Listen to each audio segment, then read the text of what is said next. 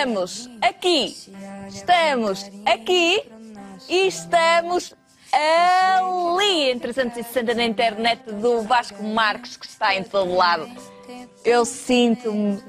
Ai, Vasco, posso dar dois Claro beijinhos? que Já não te vi há tanto tempo. É verdade, estás com um ótimo aspecto de quem foi de férias, não é?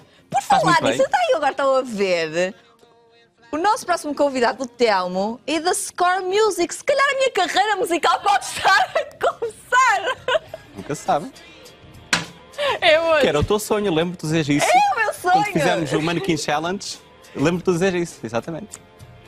Ai, não, não há, não há cunha que, que me ponha a cantar. desafio lançado, não é? Não há cunha. Bem, Olha, estamos já a ter comentários aqui Já? da, da transmissão de 360.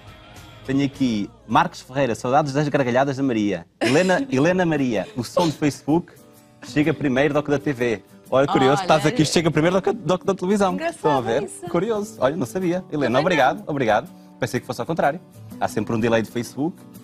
Cristina Maria Teixeira, que linda. muito obrigada, muito obrigada a todos. Manuela Costa, olá Maria. Temos aqui muito feedback. Ok. Eh, Olha. Pronto, estamos em 360, como é habitual, não é? Claro. Olha, Vasco, mas hum, falando de algo que me parece interessante, porque está na ordem do, do dia, da semana, do mês, do ano, muito se tem falado sobre a segurança ou a não segurança, ou a Verdade, insegurança da- na- nas redes sociais, Sim. principalmente no Facebook. Eu acho que Sim. o Facebook tem sido eh, Tem, sim. muito atingido por este tema, Sim. não é? Eh, que eu me lembro, desde o nascimento do Facebook, nunca houve um, um momento tão, diria, difícil ou tão. eh, eh, com tantas medidas que têm que ser implementadas por causa do Facebook. Isto começou, isto é uma, é uma longa história. Eu vou tentar resumir em três ou quatro ideias o que é que aconteceu. E isto, se calhar, é a ponta do iceberg. Acho que isto vai se continuar a falar durante muito tempo, não só no Facebook, mas outras plataformas. eh, a questão da privacidade. O Facebook foi o primeiro a, ser atingido porque é a maior plataforma do mundo de rede social, mas outras virão certamente. Eh, isto começou com o Cambridge Analytica, que é quando se fala em segurança, falamos muito em Cambridge Analytica, que tem a ver com as eleições do Trump e não só, mas muitas outras eleições, com o Brexit, etc. Eh, isto começou com o o professor de Psicologia da Universidade de Cambridge, eh, que na altura, em 2013, criou um quiz que se chamava This is Your Digital Life. Nunca participei neste quiz. Mas, mesmo quem nunca tenha participado neste quiz, mas lembro-me que aqui há um mês ou dois andava outra febre de outro quiz. Eu nunca participei em nada disso e aconselho que não. não participem em nada disso. Sim, não façam nada. Não façam nada disso.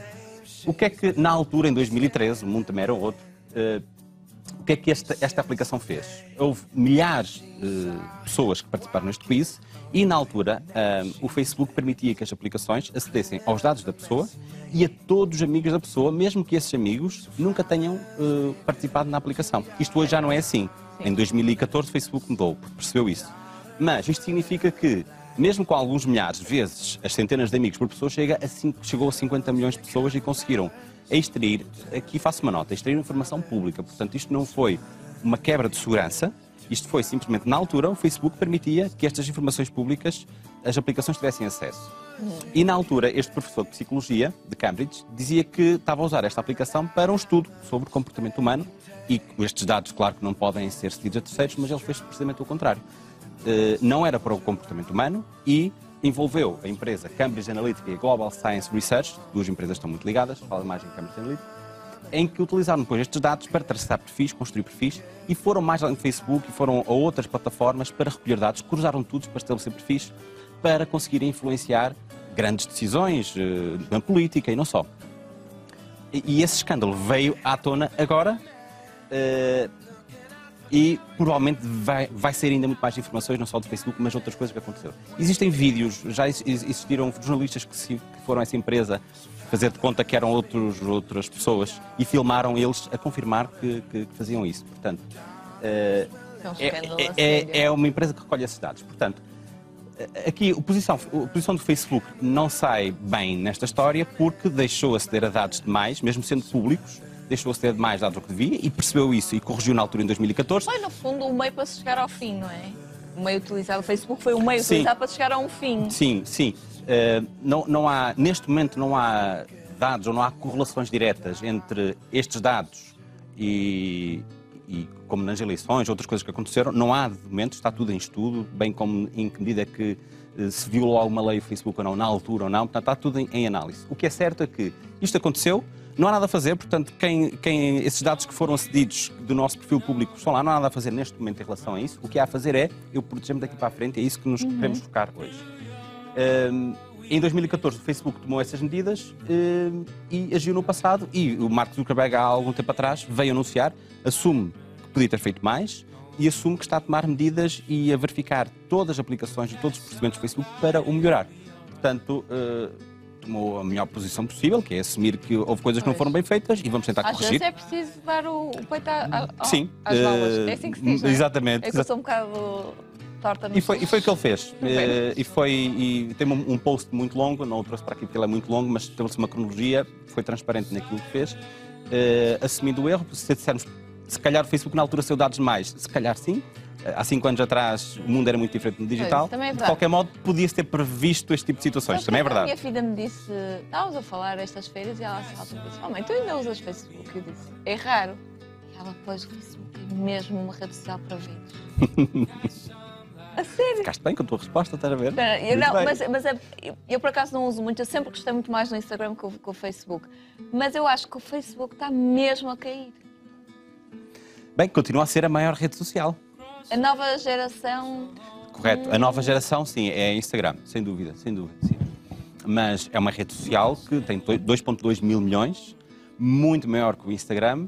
Uh, e ainda tem. E depois o Instagram é do Facebook, o WhatsApp é do Facebook. Portanto, o ecossistema é gigante. Portanto, pois. embora no Instagram nós não participamos em quizzes, é verdade, portanto, estas questões da privacidade não são tão acentuadas, mas têm acesso aos nossos dados também.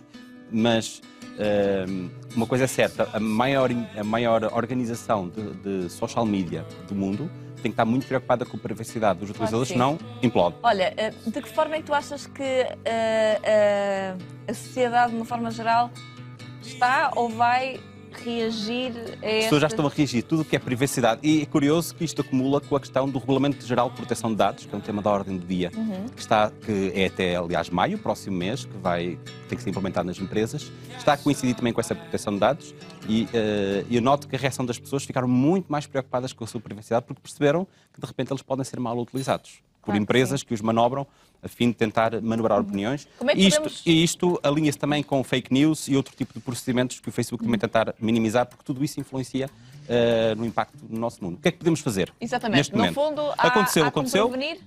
Agora o que é que eu posso fazer neste momento? Coisas simples. Uh, o que fazer é rever o acesso a aplicações Facebook. Já vou mostrar o link onde é que isto uhum. pode fazer. É, neste momento, acedam ao, vossa, ao vosso perfil Facebook e vão rever os acessos às aplicações. Removam o acesso de todas as aplicações que não conheçam ou que sejam suspeitas. Ou, se quiserem, podem mesmo suspender o acesso de todas as aplicações.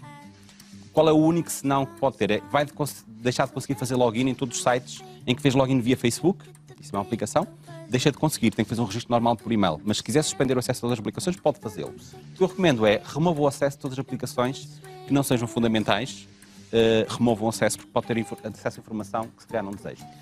Não participar em jogos, em quizzes, aplicações desconhecidas e não clicar em links suspeitos em mensagens, está acontecendo neste momento, mensagens e isso tem a ver com as aplicações, ou notificações uh, que surgem que são suspeitas. Não clicar. Isto é o que podemos fazer. Então, na prática, uh, o link de acesso é facebook.com/settings ou canto superior direito, setinha, definições. E lá vai aparecer as definições. Nas definições, vão ao separador que diz apps e sites. Tal como nesta imagem que estão a ver, está o link em cima, facebook.com.br settings. Portanto, acede às definições, depois vão apps e sites. E vai aparecer aqui, aqui mostra só algumas, todas as aplicações que esse perfil eh, deixou aceder. Então eu posso retirar todas as aplicações que eu acho que não são importantes e assim fico com a minha privacidade mais garantida, uh, que sejam estranhas. Portanto, é isto que podemos fazer. Uh, Portanto, aplicações e sites, apps e sites. Apps e sites, exatamente. Okay. Agora, há, há, paralelamente a isto, surgiu, surgiu o movimento uh, de elite Facebook, que até o, uh, o Elon Musk da Tesla uh, apagou a página da Tesla e houve muitas empresas que apagaram a página do Facebook por causa desse fenómeno que há muitas pessoas que estão ofertas de Facebook e que estão no Instagram, também por causa da privacidade e outros aspectos.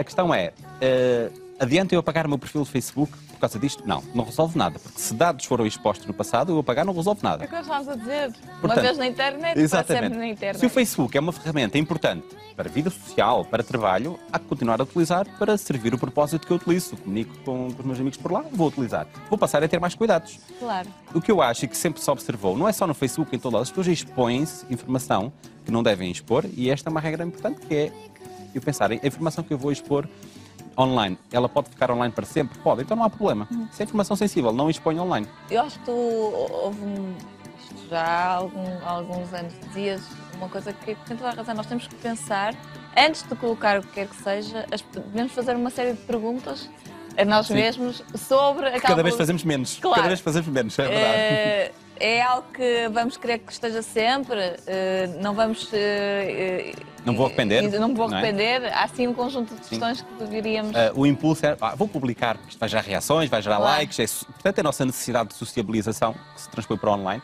mas sim, devemos ter esse, cada vez mais esse cuidado. E, e Então, não resolve nada apagar, a conta. não resol- apagar a conta resolve? Não. Mas o que é que pode fazer? Pode fazer um backup, se quiser, todo o seu perfil fica com os dados e, se fizer questão, pode apagar a conta.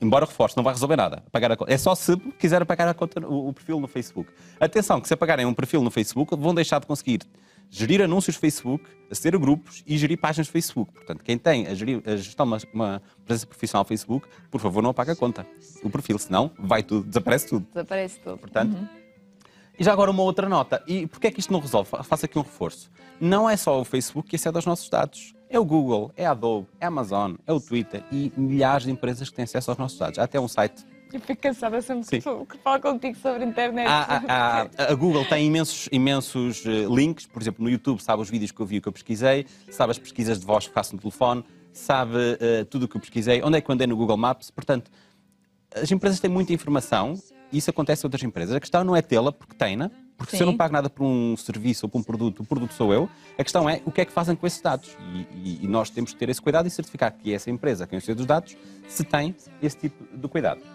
Se quiserem fazer download por questões de segurança da conta do Facebook do perfil, também dá das páginas já agora, basta aceder facebook.com.br settings, mais uma vez, e depois aparece logo em baixo um botão no primeiro separador, descarregar eh, a conta. Carrega no botão, descarrega tudo, vai demorar um bocadinho, tudo para o computador, fica com backup de toda a informação. É muita informação que ele tem acesso e que vamos ficar com ela. Podem fazer por questões de segurança ou podem tomar a ação drástica de apagar a conta do Facebook. Eh, e ele pede aqui para apagar, demora Eliminar. 90 dias a apagar totalmente todo, todo o registro, exatamente. Porquê? Eu acho que é para- na, na expectativa de nós nos arrependermos. Eles não dizem isso, eu acredito que seja isso, não é? Em Pois 90 não, dias há, não há justificação possível. pode haver eh, backups redundantes, enfim, pode haver procedimentos internos de backup de dados, duvido que seja 90 dias, mas enfim, é, é é a informação que, que ele dá. Acredito que seja mais para nós nos arrependermos e a maioria das pessoas vai se arrepender. E- e volta, e volta. E volta, e volta que estás perdoado. E, portanto, é aqui que se pode fazer. Eh, Eu não recomendo a fazer, a não ser que já antes desta, deste tipo de notícias já não tivessem vontade de ter uma conta Facebook e quisessem pagar por alguma razão. Eu acho que é uma ferramenta importante. O que é que o Facebook... E agora a questão é, o que é que o Facebook está a Tu fazer em relação a isto? que era realmente importante. Não estava aqui a fazer nada, não é? Quem iria achar? Demitíamos já assim, Claro. não venho mais à redes sociais. Não, poderia. O Facebook não é importante, mas é o Instagram, e é o LinkedIn, e há outras, Sim. portanto, exato. E se calhar um dia vamos estar a falar sobre isso. Olha, Mesmo. o Facebook já foi, agora é outra. Nunca se sabe. Para já não. Para terminar, O que é que o Facebook está a fazer então em relação a isto? Eh, está a melhorar os processos de privacidade. Sim. Portanto, isto veio acelerar já um conjunto de procedimentos que o Facebook já estava a ter nos últimos tempos, já há um ano ou dois. E veio acelerar o processo. Melhorar processos de privacidade, está a rever manualmente todas as aplicações através do processo da API, que é a ligação de comunicação com o Facebook, tudo o que eles têm acesso a dados, portanto, está a passar tudo a pente fino. Vai passar, esta é uma novidade importante, vai passar a haver transparência de anúncios políticos, especialmente nos Estados Unidos, eh, porque em Portugal isso não, é possível fazer, tirando alguns pormenores específicos.